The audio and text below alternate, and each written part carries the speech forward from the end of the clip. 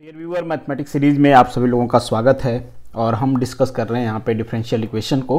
अगर चैनल पे आप पहली बार हो तो ये सारे प्लेटफॉर्म है जहाँ पे आप मुझसे जुड़ सकते हैं। ये जो क्वेश्चन है आपका जी e का प्रीवियस ईयर का सोल्यूशन हम डिस्कस कर रहे हैं ऑलरेडी किया हुआ है। सेकेंड क्वेश्चन भी हमने डिस्कस किया। फोर्थ भी डिस्कस कर लिया है फिफ्थ भी डिस्कस कर लिया हमने। आज हमारा डिस्कशन होने वाला है क्वेश्चन नंबर सिक्स का। अब कुछ लोगों को इस क्वेश्चन में डाउट हो रहा था, क्योंकि इससे पहले जब मैं डिस्कस किया था बाकी सारे क्वेश्चंस को तो वहाँ पे आपको ये क्वेश्चन मैंने दिखाया था तो कुछ लोगों का आंसर नहीं आ रहा था। उसका रीजन हो सकता है ये रहा हो, क्योंकि यहाँ पे प्लस लिखा हुआ था इससे पहले मैंने। जब मैं इसको सॉल्व कर रहा था तो मैंने देखा कि ये बाई मिस्टेक हुआ है, यहाँ पे प्लस साइन नहीं माइनस साइन है। अब ये क्वेश्चन बहुत ही आसान हो जाता है कन्फ्यूजिंग नहीं रहेगा। होप सो कि आप सभी लोग इसको कर पाओगे। एक आसान सा क्वेश्चन है, दिया गया है partial differential equation for general solution general solution ये इस डिफरेंशियल इक्वेशन का एज्यूम किया जा रहा है कि ये होता है, ठीक है? ये इसका जनरल सोल्यूशन हो गया।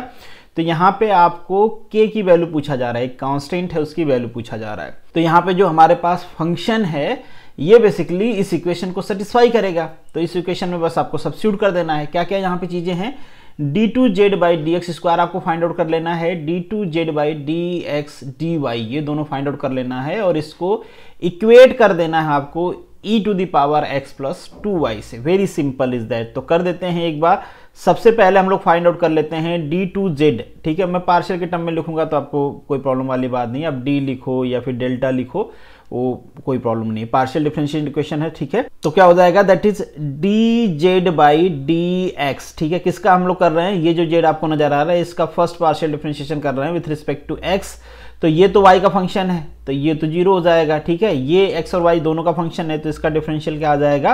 पहले तो आ जाएगा g dash in bracket y plus X multiplication में इसका आप करते हो तो y का तो कुछ होगा नहीं, x का वन हो जाएगा तो वन यहाँ पे मल्टीप्लाई में आप नहीं भी लिखोगे तो चलेगा, ठीक है? करने की ज़रूरत है नहीं।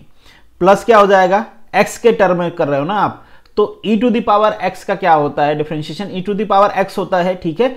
और यहाँ पे जब सेकेंड टाइम इसका आप करोगे तो अगेन x का वन होगा तो कोई चेंजेज आने वाला है नहीं यहाँ पे तो k हो जाएगा। That is e to the power x plus two I hope so कि ये चीज़ें आपको समझ में आ रही होंगी।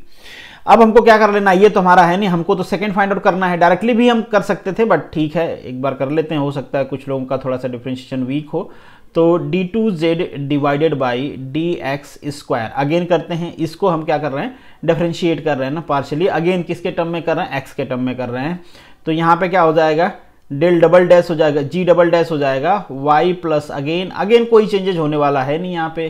क्यों? क्योंकि एक्स के टर्म में ही हम लोग कर रहे हैं तो that is K E to the power X plus two Y ये हमारे पास इक्वेशन नंबर वन आ गया।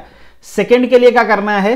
इस वाले को एक बार y के टर्म में डिफ्रेंशिएट करना है तो क्या हो जाएगा? Del two Z divided by del X D Y is equal to अब इसको y के टर्म में करना है, ठीक है?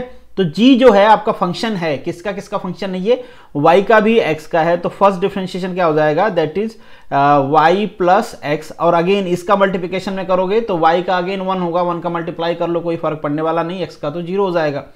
प्लस अब यहाँ पे थोड़ा सा चेंज होगा। क्या चेंज होगा? पहले तो ये जो k है एज इट इज़ रहने वाला है e to the power x का e to the power x होगा तो e to the power x plus two Y ठीक है? इस पूरे क्वांटिटी को आप एक क्वांटिटी मान सकते हो, कोई प्रॉब्लम वाली बात नहीं है, ठीक है? फिर आपको इसका डिफ्रेंशिएशन करना है मल्टीप्लिकेशन में।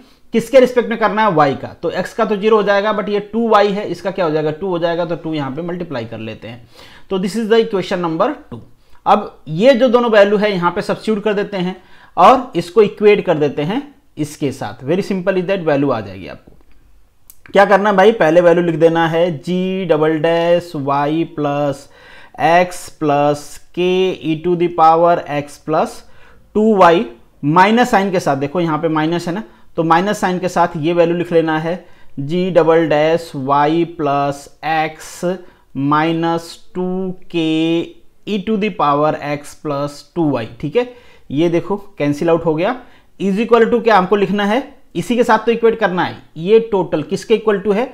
E to the power E to the power X plus two Y की इक्वल है। ठीक है?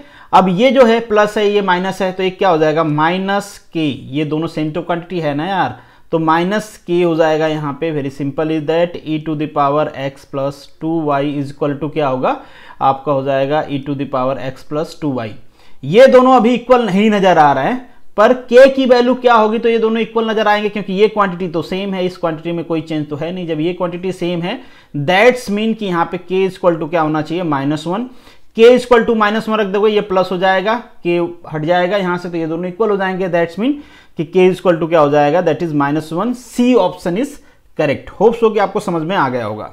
अब यहाँ पे क्वेश्चन नंबर सेवन है। बहुत ही आसान सा क्वेश्चन है। इसको आपको एक बार खुद से अटेम्प्ट करना है। नहीं होगा या होगा, जो भी मैटर हो, मैं इसको नेक्स्ट वीडियो में करा दूँगा। तो चलिए this is the end of this video thank you so much for watching this मिलेंगे नेक्स्ट वीडियो में। तब तक के लिए all the best good luck